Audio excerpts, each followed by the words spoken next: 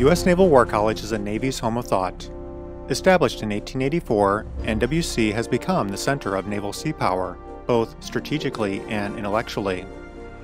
The following Issues in National Security lecture is specifically designed to offer scholarly lectures to all participants. We hope you enjoy this upcoming discussion and future lectures.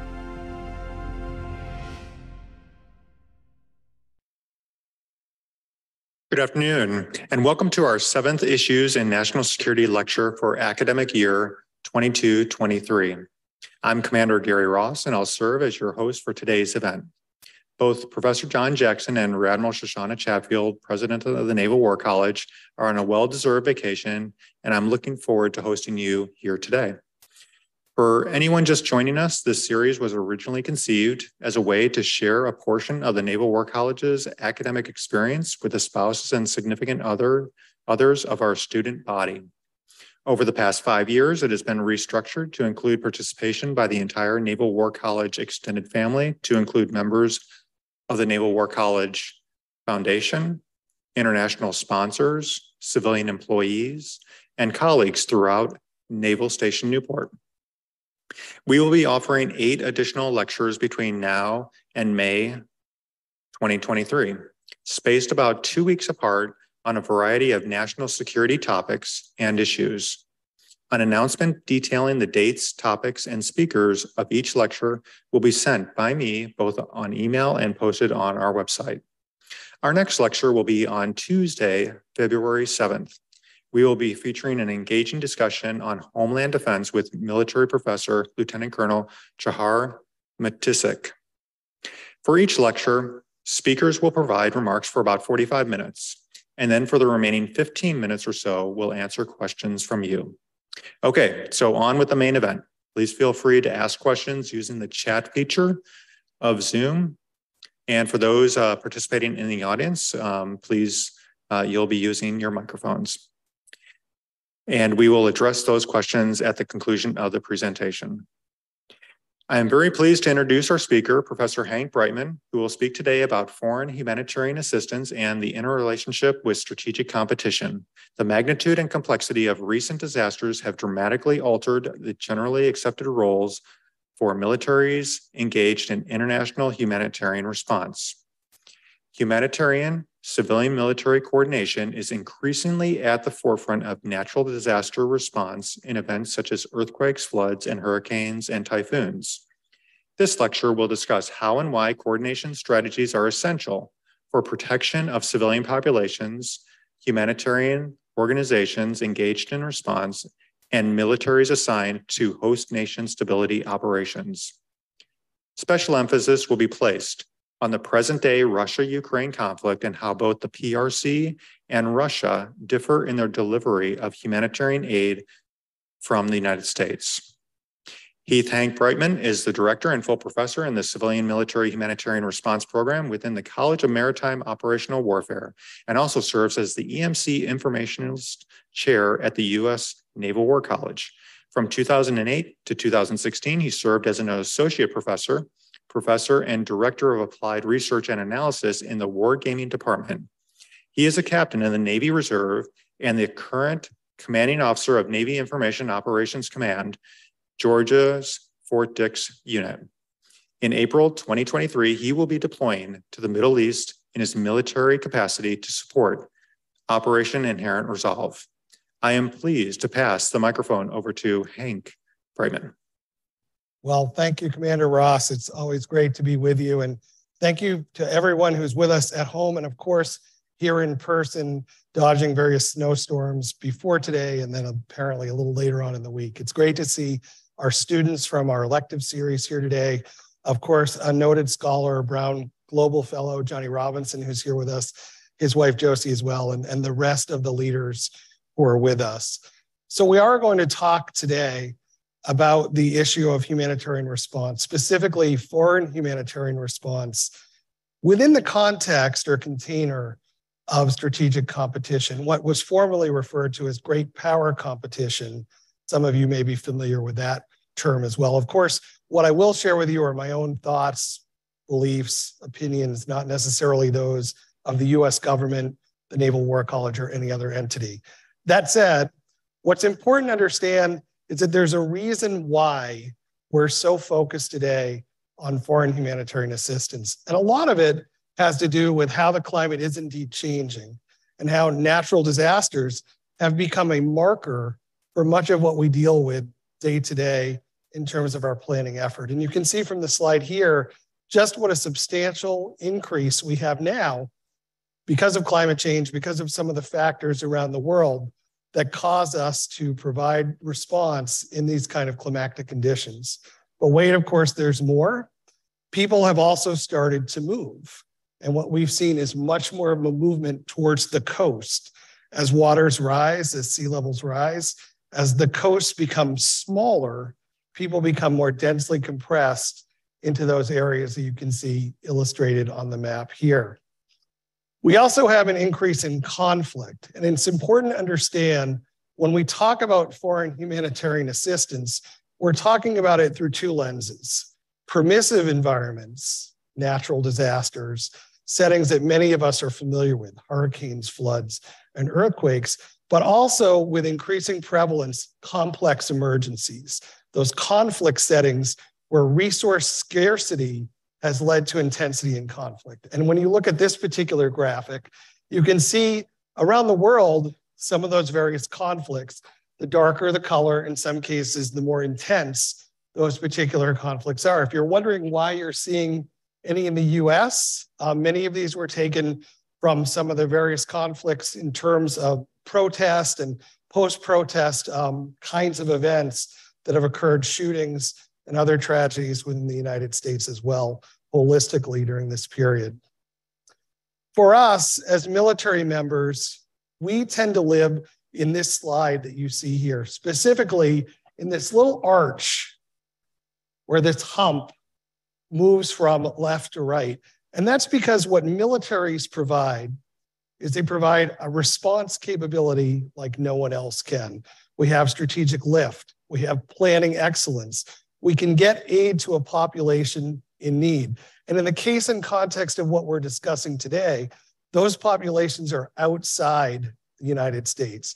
We're not talking about what we refer to as DISCA, Defense Support for Civil Authority, which are those responses within the US, but rather outside the United States. And that's where our need and our value really plays out because we have the ability to support those populations What's always important to remember, however, is we're only there to provide that immediate life saving support that's necessary in the moment because we have missions to perform as well. So, while yes, we are a global force for good, we have our own missions, our own warfighting capabilities and strategies that are important to keep our nation safe, to defend the homeland. So, to do that, our, our job is to go in, provide that support at the behest of the host nation that's necessary to help that population in need, to alleviate suffering, and to help sustain human life, and then to depart.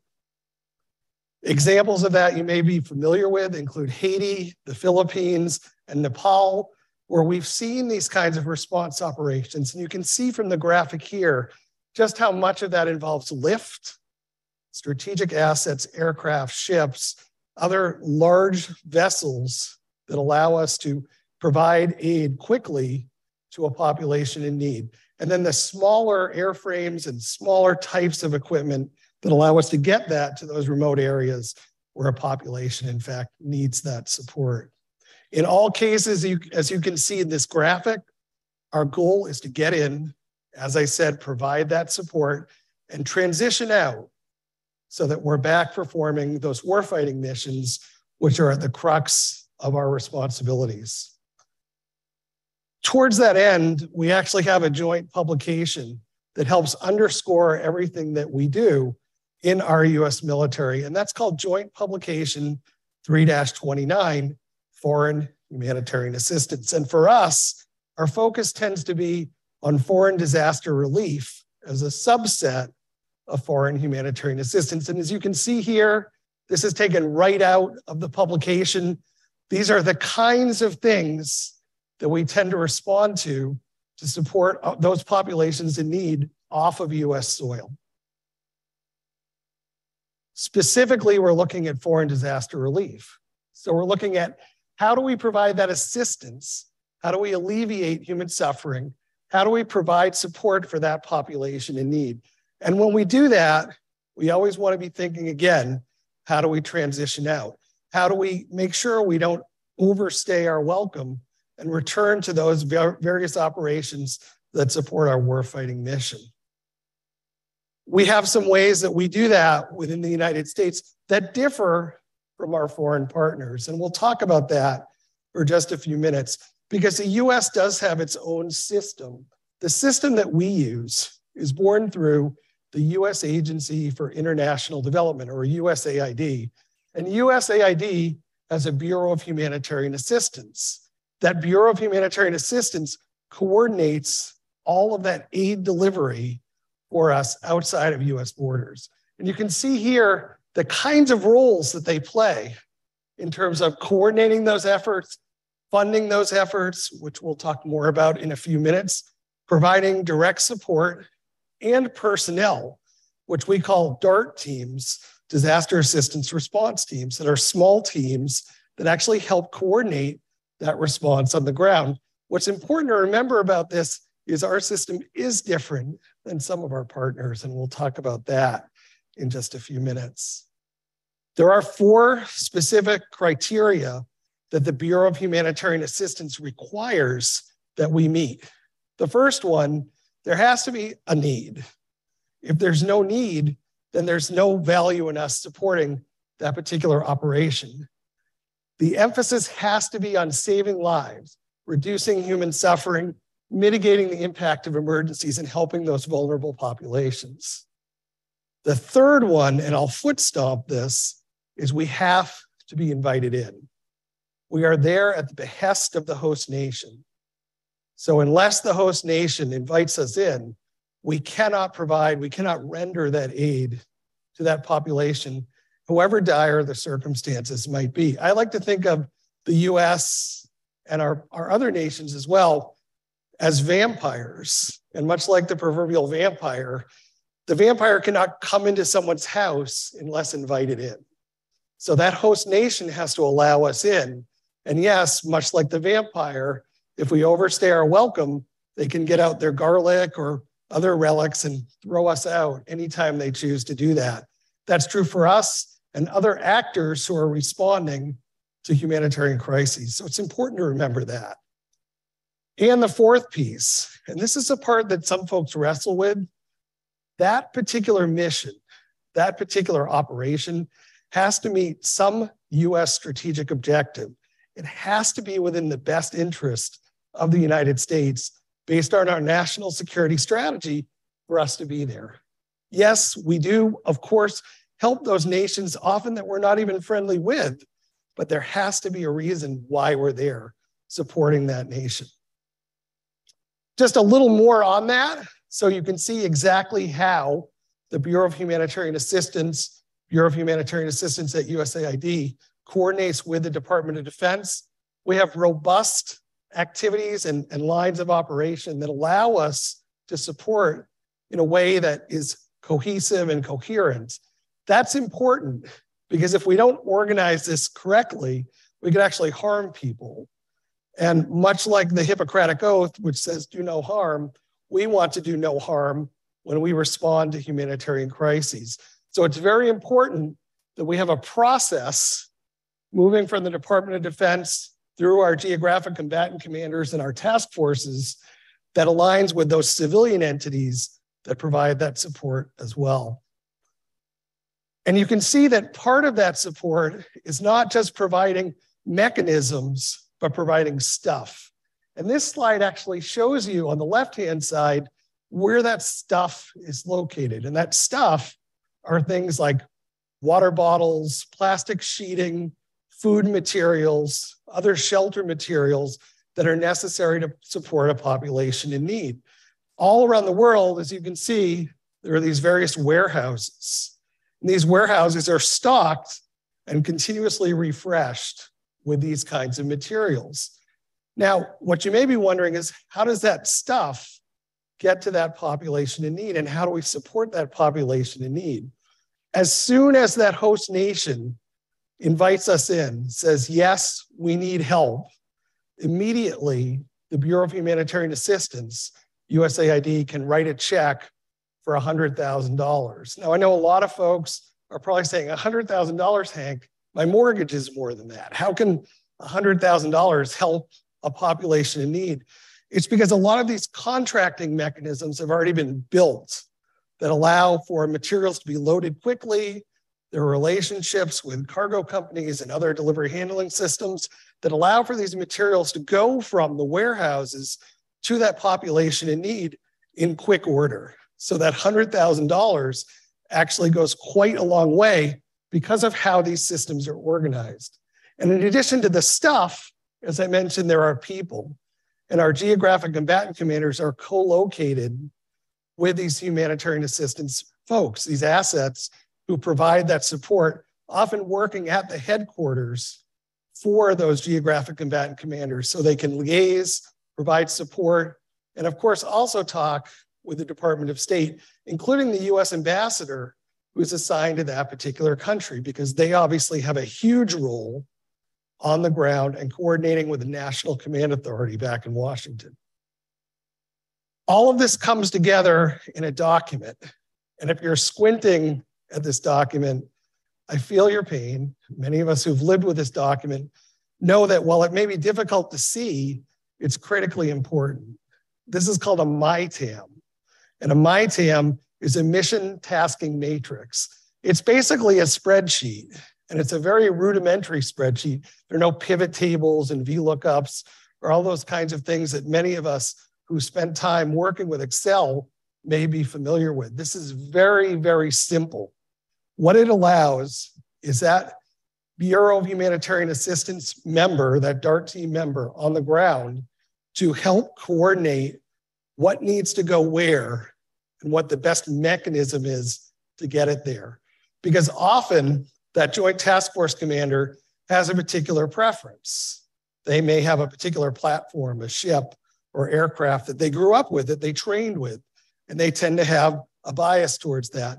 But that DART representative may know about other assets or other equipment or other gear or materials that are more appropriate or located more closely to support that population in need.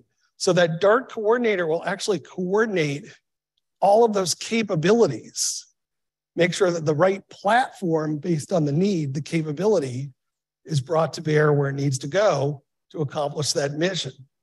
But wait, there's more. What this task force, MITAM does rather for the task force, is it allows us to track money, expenditures that are made supporting a population in need. And for the Department of Defense, that's critically important because there's a reimbursement process for DoD, for the fleet commanders, for the geographic combatant commanders at the end of the day. So much like you would not want to go to dinner and be stuck with the bill if someone else had said they'd pay, what this allows is for someone else to pay the bill, meaning not the fleet commander or the geographic combatant commander or the Department of Defense. This goes through a State Department USAID process. I mentioned this earlier, but it's certainly worth repeating. We cannot, we will not ever respond to support a population without the express consent of the host nation. They are the first responders, they are the primary responders, and until they give that consent, not just to the US, but to any other actor who might want to respond to support that population, we just can't be there. In addition to us, there are other critical folks who help support humanitarian response. And just to show you some of those different types of people, we have those special organizations you may be familiar with the International Committee of the Red Cross, the Red Crescent, the International Federation. Think of these as those large humanitarian organizations that provide support to vulnerable populations in need, not just in permissive environments, not just in floods, earthquakes, and natural disasters, but also in conflict settings, in war torn countries, even providing support to detainees to ensure that they get the resources they need, or combatants to ensure that they get the resources they need in prisoner of war camps. So that role is critical, and the Red Crosses play that role. The international Red Crosses, as opposed to the more regionalized, local, like American Red Cross that many of us may be familiar with in the US. Then there are the UN agencies. And for us, the one that we deal with the most is the United Nations Office for the Coordination of Humanitarian Affairs, or OCHA. We'll talk more about OCHA and the critical role that it plays in just a few minutes. But you can see some of the other critical organizations World Food Program, World Health Organization. I know during the COVID era, which is still very much a thing, but certainly different than it was a few years ago in terms of its propagation. World Health Organization played a critical role in trying to fight that particular disease during the pandemic.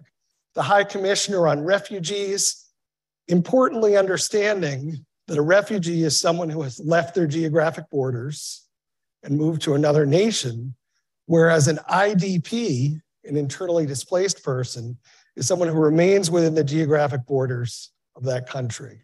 So a little bit on them. And then below them, what many of us are familiar with, which are the international NGOs. So those organizations that will support populations in need around the world, Médecins Sans Frontières, World Vision, CARE, Action Against Hunger. These are just a few of the many international non-governmental organizations that exist, many of whom have a specialization. Obviously, MSF, or as we more commonly call it, Doctors Without Borders, has a medical focus, contrasted with other organizations like Team Rubicon, which tend to be more logistics, tend to be more surveying and support. So it really depends on their area of expertise, how they can best support that population in need. And below them, but most critically important, are the local non governmental organizations. These are the organizations that are on the ground who generally already reside within the border of that particular affected state and have the resources to provide aid through networks, through contacts, through communications in many cases, they built up through many, many years. So those local NGOs really are the base of the pyramid in terms of making sure aid is provided. Those non governmental organizations, whether they're international or local, have core humanitarian principles that they follow. And it's important as you read through these to understand that not all non governmental organizations are humanitarian organizations. For example, some organizations have a political perspective, they lobby for certain types of policies. They probably wouldn't fall within these four specific parameters to be designated as a humanitarian NGO because they may not have that neutrality or that impartiality that you see here. Many, of course, do have humanity. In fact, our militaries, I believe, have humanity as well. But that doesn't mean we're following these principles, all four of these principles. And that's important to understand. These four principles are really critical to identifying an NGO to determine whether it's a humanitarian NGO or something else. So, how does it all come together? Well, earlier I mentioned OCHA, the UN office. OCHA serves, if you will, as the catalyst to help coordinate various sectors of support. Those sectors of support come together in a model that we call the cluster system. Now, I know a lot of us in the US military, myself included, cluster tends to have a different connotation, but within the humanitarian world, the cluster system represented here works very, very efficaciously. It's broken up by particular types of disciplines or areas of expertise. It's self selecting, self seeding, if you will, in terms of where those NGOs tend to live. And they coordinate very well through a collaborative mechanism, through that civilian military coordinator, through that process of coming together along these various areas to provide for a population in need. And believe it or not, even though you don't see the kind of a top down model for command and control that many of us in a military setting are used to, because these folks work together so much and coordinate across sectors, It's a highly, highly effective method for coming together to support a population in need. Now, you'll notice that the military is not represented in this left hand graphic. That's because we're outside of the cluster system. To maintain those humanitarian principles, militaries are not part of that construct. Because if you're Médecins Sans Frontières, Doctors Without Borders, as soon as you start actively engaging with militaries, what does that do to your neutrality?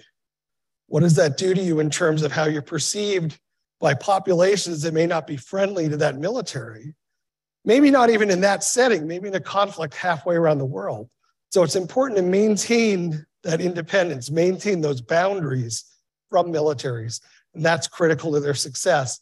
That said, we do work together through processes where we provide aid.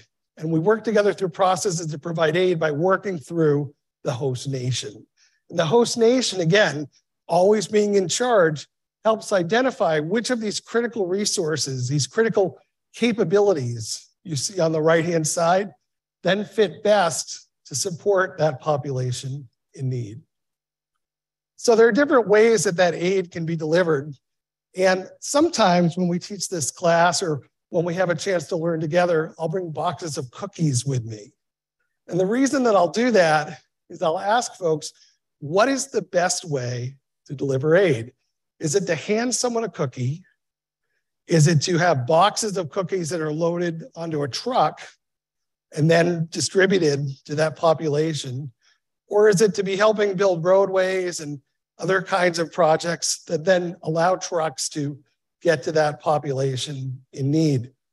Generally speaking, that direct support, that cookie, isn't the best way for us to deliver aid because, again, the host nation is in charge. So if we're just handing out cookies as a military to people, in some cases, we're countermanding that host nation or undermining its authority.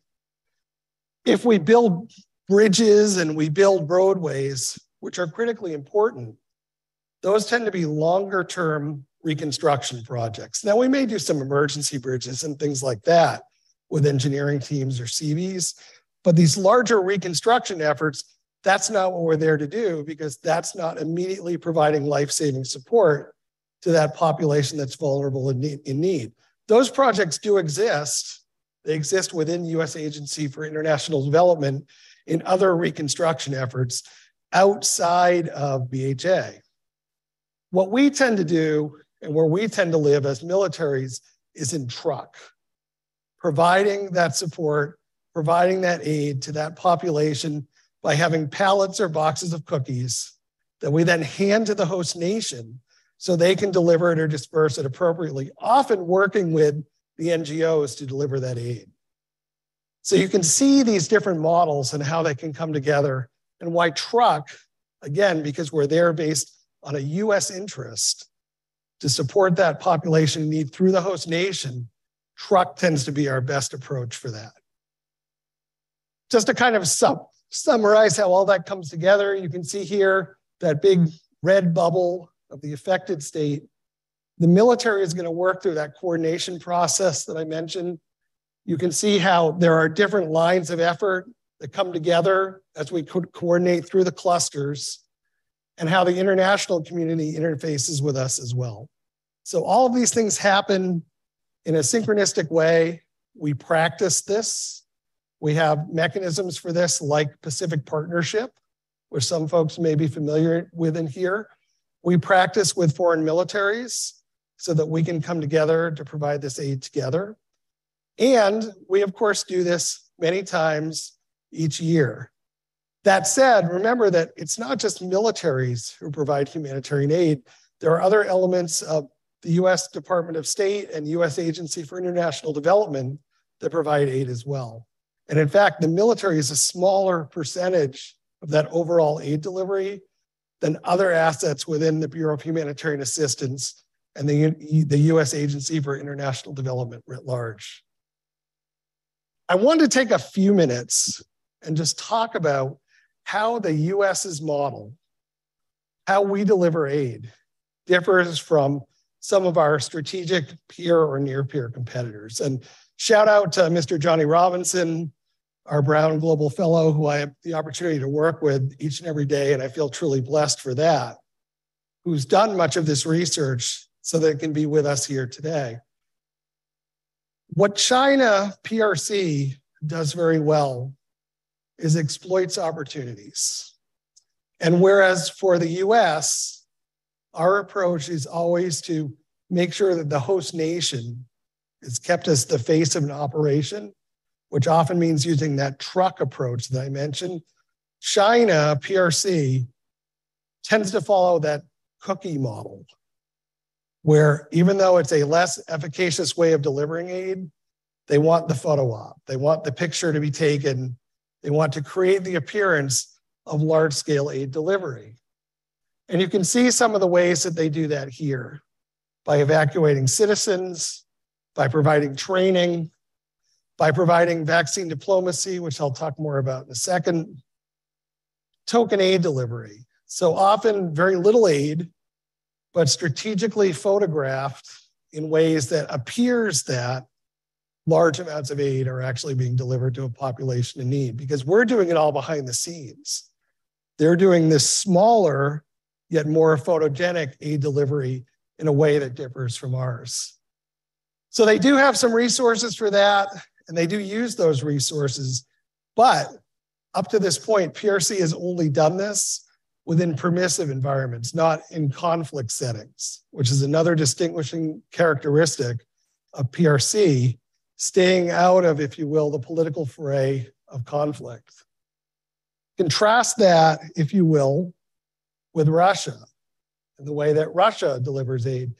What I always like to show on this slide, because it's striking in, in how bizarre it may seem to many of us, is this cultural exchange piece with the Bolshoi ballet that you see here. Russia very much considers any type of cultural exchange humanitarian aid. So if the ballet comes to a particular country, that's humanitarian aid in the view of Russia. Um, they do a lot of firefighting and they do it quite well, mostly wildland firefighting. And they provided a lot of support around the world in terms of wildland firefighting. They're getting very good at that. And it's a way for them to bolster their image, again, outside of conflict by providing this support. Search and rescue, you can see how they provide support there as well. Training, as you saw with PRC and token aid delivery. What differs with China versus Russia, PRC versus Russia, is that the aid delivery that PRC delivers is strategic. It's well photographed, even if it's token. Russia tends to deliver aid, but they're not as good at getting the messaging out there of the aid that they're, they're delivering. They don't have as good a strategic communications message as PRC does. And often that aid doesn't really exist. So you look at that bag there, and, and Johnny can talk to this too. This actually is a picture from Syria.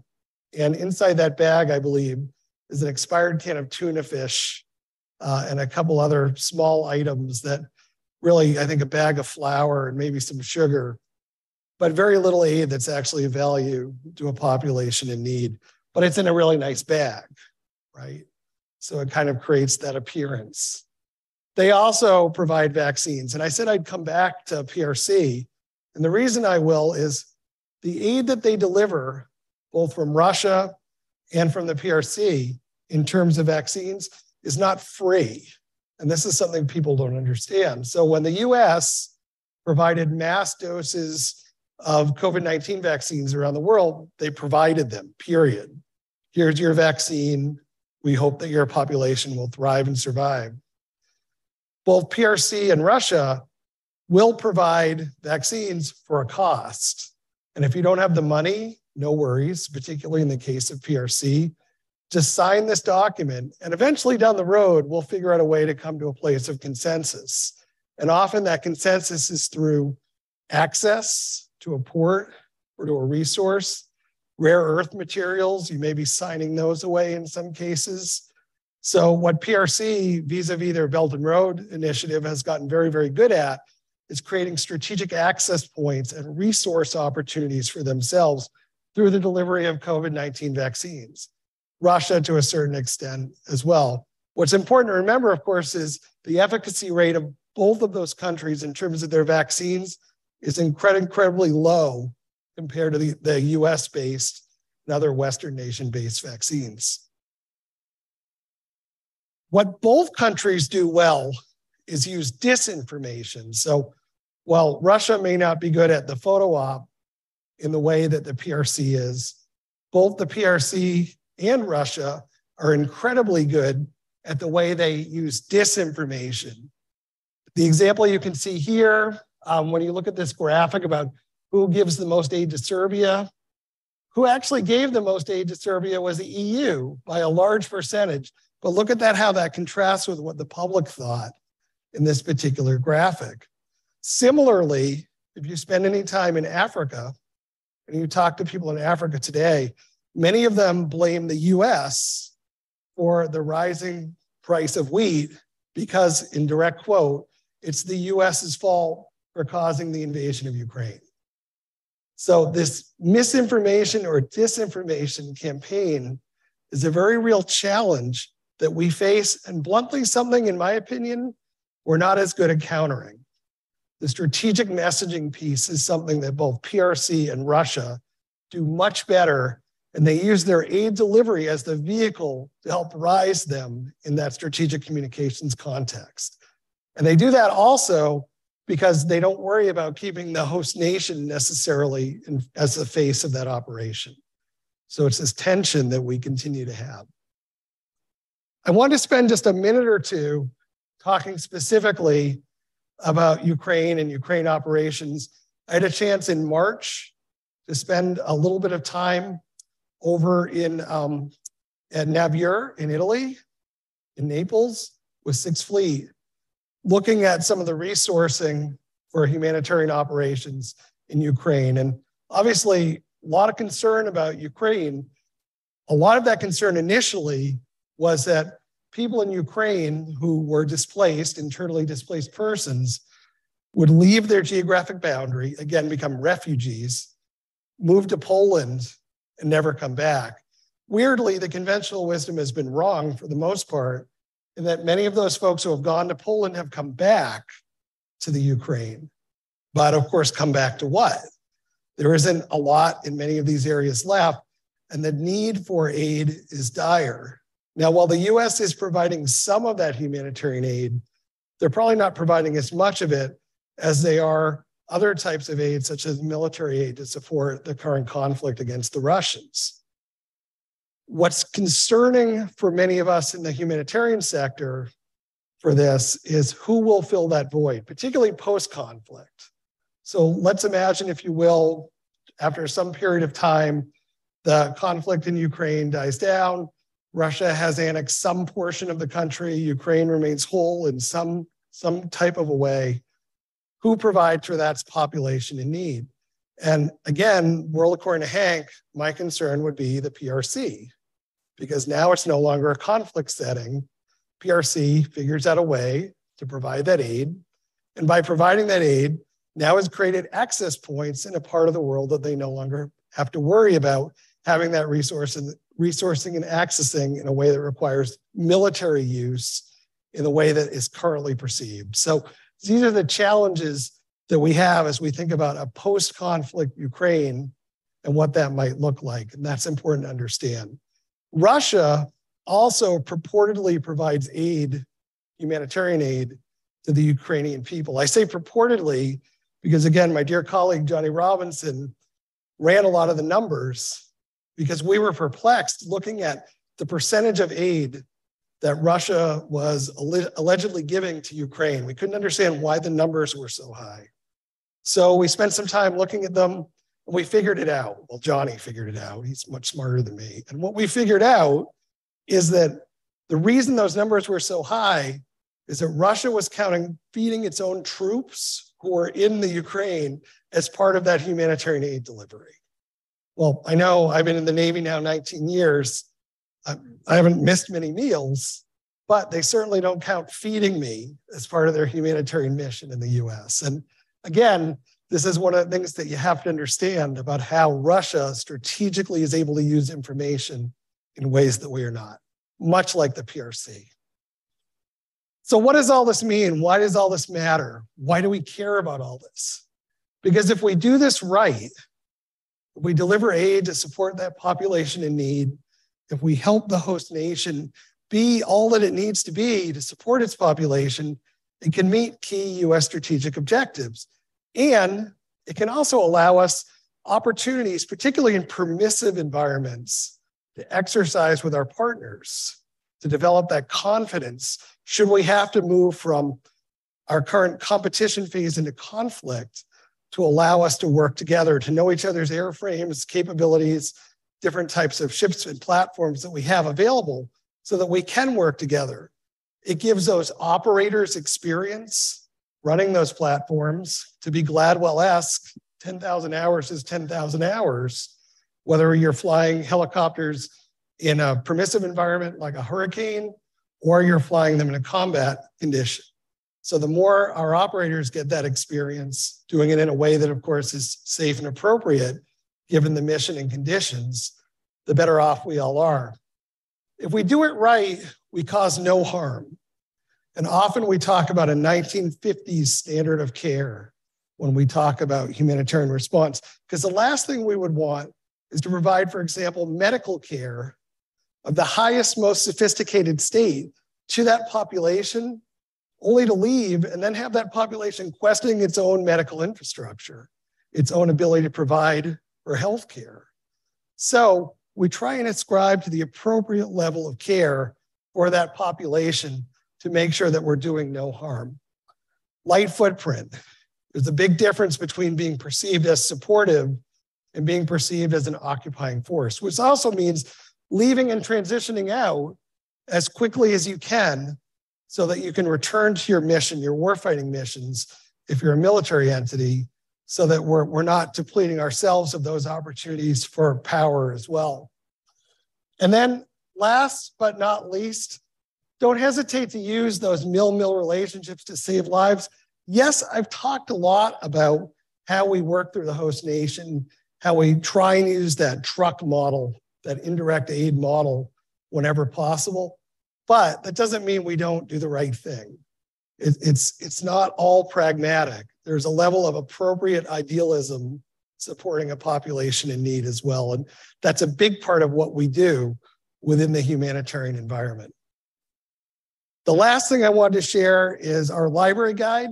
So we actually have an amazing resource thanks to its original architect, Brittany Card, who's now with BHA, USAID, and currently managed brilliantly, again, by Mr. John Robinson. Our library guide has all the resources that connect to this presentation today, scholarly papers, lots of videos, and resources across the entire landscape from permissive environments into conflict, even into medical things such as COVID 19. So, highly encourage you to take a look at our library guide available off the Naval War College page. And I am happy to answer any questions you may have, of course, from our audience who came with us today or in the world of cyberspace as well. So thank you very much and very much looking forward to your questions and having the opportunity to learn from you and with you.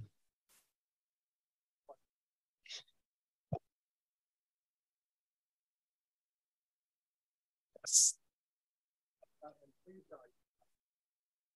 People in Zoom can hear. Uh, yes, I'm uh, Captain Paraskevopoulos from the Hellenic Navy. I actually have two questions, if I may. Uh, the first one is about the fourth prerequisite that you mentioned in order for the US to provide help. And I was wondering if there is an available example that you can tell us uh, regarding a case that uh, finally the US didn't provide any help mm-hmm. because of that. And uh, the second uh, question or remark, if you like, is about the role of NGOs, uh, specifically the local ones, uh, which in my country lately there has been a considerable consideration regarding their role. There are too many, and it seems that some of them, the only reason for existence is to attract funding and also some of them are also um, responsible for human trafficking. Mm. So if this is any kind of your consideration or not, thank you. Right. Now, great questions. And thank you so much for being here today. And if I may, I'll start with the second one first. There are many, many entities that purport themselves to be non governmental organizations. Assuredly, any NGO that traffics in human beings is not meeting those humanitarian principles. So it certainly is not the humanitarian NGO. That said, your point is very well taken. Haiti is the classic example of where many well meaning people came together very, very quickly after the Haiti earthquake to try and help. So a lot of church groups, other folks got together and self declared themselves as NGOs, showed up in Haiti and Port au Prince and other parts of the country and said, Hi, I'm from Hank's NGO. Um, I'm here with my, my two colleagues. Um, where do we take a shower? Where do we eat? Where do we sleep? Only to be told, we have none of those resources for you. You're supposed to be helping us with that. And now you're actually creating a drain on us by not having the resources you need to be self sustaining, to operate again according to those principles that allow you to have that, inter- that independence. So, a lot of people claim to be NGOs that aren't necessarily NGOs. Uh, there are all kinds of rules around that prohibit us from collecting any kind of intelligence or similar kinds of information on a population in need that let's be honest because russia this is a real issue will sometimes claim to have an ngo which is really an intelligence collection apparatus that can do more harm than good for targeting and things like that to support their missions. So the second question is relatively easy to answer. The first one isn't as easy to answer because it's almost like trying to prove a negative in that the places we haven't been, we haven't been. Um, there is a, a large calculus that goes into that based on the national security strategy that sometimes may surprise you. For example, we've offered assistance in earthquakes in Iran. Very rarely is it accepted, but sometimes it is. Uh, we offered assistance in Indonesia after Banda Aceh at a time when, in the post 9 11 era, there was a lot of discussion and conversation about should we be providing that kind of support for that part of the world, given all the things that Al Qaeda is doing. And the US government looked at it and said, huh, the population desperately needs us. It's in our best interest to show that the US is a caring people that cares about our neighbors and partners, and even those whom we may disagree with. And that ultimately led to far more robust relationships than we had in the past with Indonesia. We now engage often in training and humanitarian operations with, including an entire series of activities and exercises. So the reality is it can be done. Um, but it's a very complex process to determine how that will be done. Both excellent questions, and thank you. Any other questions? Yes. Different Commander Duminder from Sri Lanka. So uh, during the presentation, you were mentioning about the military to military coordination. Like, uh, for instance, if you go to some other country, then maybe uh, during the process of uh, assistance, it may helpful to uh, work with some non set of people, like work with uh, hand to hand. So in that case, uh, combined training beforehand would be uh, beneficial, I guess. So I know that you all are conducting training, but uh, I would like to know the, the present situation, like how you train or else uh, combine kind of operations in the present situation and if you have some future plans like to enhance this kind of training, HADR training with the other countries military. So the percentage, if I understand the question right, just to make sure I do, the percentage of humanitarian aid delivery in Ukraine contrasted with other operations we've engaged in, is that kind of what you're asking me? Am I getting that right? Uh, no, I'm asking about the training. The oh, training. training, yeah. Okay, so the training piece of it, that's something I can answer because we have a substantial amount of training available through the US, not just for our US military members, but to support our multinational partners as well. For example, the JHOC course, the Joint Humanitarian Operations course, which shameless plug, we'll be conducting here at the Naval War College the week of the 6th through the 10th of March uh, through USAID. That training is available around the world using the DART teams as part of that training element to support militaries and other organizations that want to provide that kind of support. We also have something called MARHAST, which is our Maritime Humanitarian Assistance Survey Team, which is a training module that's part of the HAST, the Humanitarian Assistance Survey Team.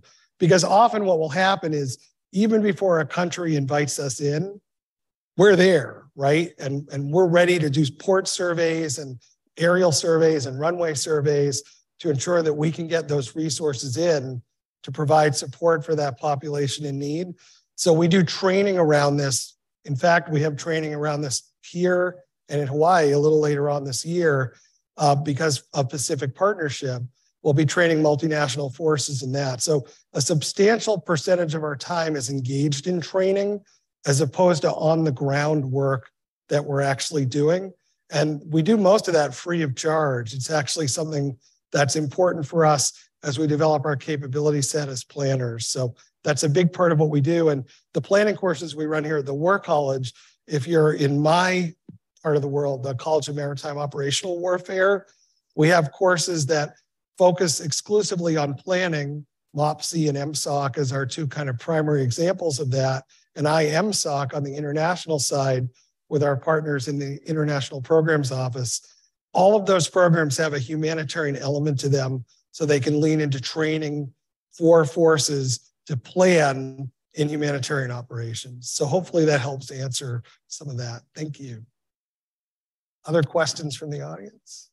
Uh, we do have some questions on Zoom. Great. Uh, the, the first question that uh, came in has to do with um, funding. How does the federal government, the US federal government, uh, determine who, in, what department in the federal government pays for uh, the assistance? And then if it's if it's a DoD effort for some portion of it, how does the combatant commander determine, you know, under what uh, title those military operations are funded? Yeah, great questions. First of all, DoD aid as a percentage of overall aid is a very small percentage. And I often will show a graphic where we show just what a small percentage of aid the DoD element is compared to the rest of the US government.